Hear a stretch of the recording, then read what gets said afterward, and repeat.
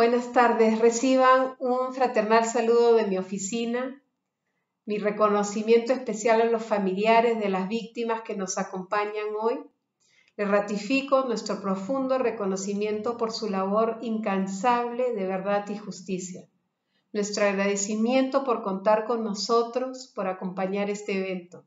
Y mi más sincera admiración a ustedes, a la Universidad de Tolima, al Absurd y al Cajar, por el trabajo conjunto que permitió consolidar este importante informe.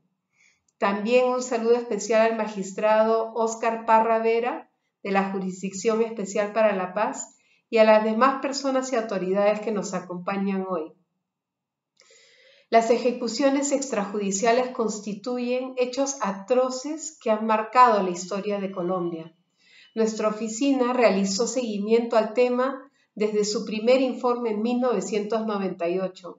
Posteriormente, la oficina continuó realizando seguimiento y pudo conocer la gravedad de lo ocurrido a lo largo de los años, insistiendo sobre la necesidad de hacer un diagnóstico tanto para prevenir los hechos como para garantizar el esclarecimiento y la rendición de cuentas. Las víctimas y sus familiares, las organizaciones de la sociedad civil y de la academia han cumplido desde el inicio un rol central para promover la rendición de cuentas acorde con las obligaciones internacionales del Estado en materia de derechos humanos. Su compromiso y su trabajo han sido fundamental para que se conozca públicamente la dimensión de estos crímenes y los desafíos que han rodado su, confrontación adecuada. A lo largo de estos años, las víctimas y sus familiares y las organizaciones han buscado de manera inquebrantable el esclarecimiento completo de los hechos y de las responsabilidades. Su papel en el rescate de la verdad, así como en la reconstrucción de la memoria, no solo es vital para la determinación de responsabilidades penales, sino que es necesario para proponer, implementar y monitorear las garantías de no repetición. El reconocimiento judicial y extrajudicial de lo sucedido es un paso imprescindible para garantizar su calidad de sujetos de derecho y amparar el derecho a la verdad tanto individual como colectivo. De la misma manera, su participación dentro de todo el proceso transicional permitirá adoptar e implementar garantías de no repetición y la restauración de sus derechos. El éxito de su proceso supone comprensión integral sobre las violaciones ocurridas, la identificación y el abordaje de las afectaciones, tanto individuales como colectivas, causadas por este crimen.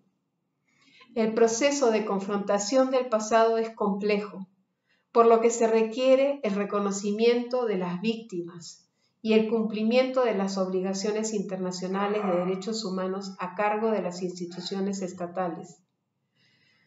El sistema integral para la paz es una herramienta de la más alta importancia para promover la verdad, la justicia, la reparación integral, la rendición de cuentas por las atrocidades del pasado del mismo modo, para implementar acciones concretas orientadas a la no repetición. El sistema integral brinda una oportunidad valiosa para promover el reconocimiento de las violaciones, de las víctimas y de los daños provocados. Las decisiones que ha tomado la Jurisdicción Especial para la Paz constituyen avances notables para la comprensión sobre la dimensión y los impactos de esta grave violación a los derechos humanos y como lo señala este informe, las víctimas han sido mucho más que una estadística, dado que como consecuencia de los hechos se afectan a personas, a familias enteras, a comunidades y a la sociedad en su conjunto. Por ello, el reconocimiento de las víctimas, de sus historias de vida, de la lucha de sus familiares y de los impactos sociales, familiares y comunitarios es absolutamente esencial para garantizar un proceso de rendición de cuentas adecuado y la satisfacción integral de los derechos de las víctimas. El principio de la centralidad de las víctimas ha significado una adecuación normativa e institucional para que su participación sea vigorosa, significativa en todos los procedimientos que adelanta la Jurisdicción Especial para la Paz y las demás instituciones que conforman el Sistema Integral para la Paz. Sin duda, este principio es de suma importancia para que las víctimas puedan experimentar el reconocimiento y el respeto por parte de las instituciones del Estado. Esto contribuye a que ocupen un lugar en la esfera pública. También aumenta la probabilidad de que los mecanismos de justicia transicional tengan realmente en cuenta sus necesidades en procesos judiciales que históricamente se han caracterizado por tratar a las víctimas únicamente como meros testigos. Igualmente, al permitir la participación de las víctimas en los procedimientos penales, se aumenta la probabilidad de que esos procedimientos puedan integrarse mejor en otros procesos de justicia de transición, como los de la búsqueda de la verdad y los de reparación. Es el momento de reiterar a las víctimas y a sus familiares, a las organizaciones de derechos humanos, a la academia e instituciones acompañantes nuestra solidaridad y todo nuestro reconocimiento, así como nuestro compromiso para continuar acompañando su ardua lucha para esclarecer estos graves crímenes y para alcanzar la materialización de sus derechos.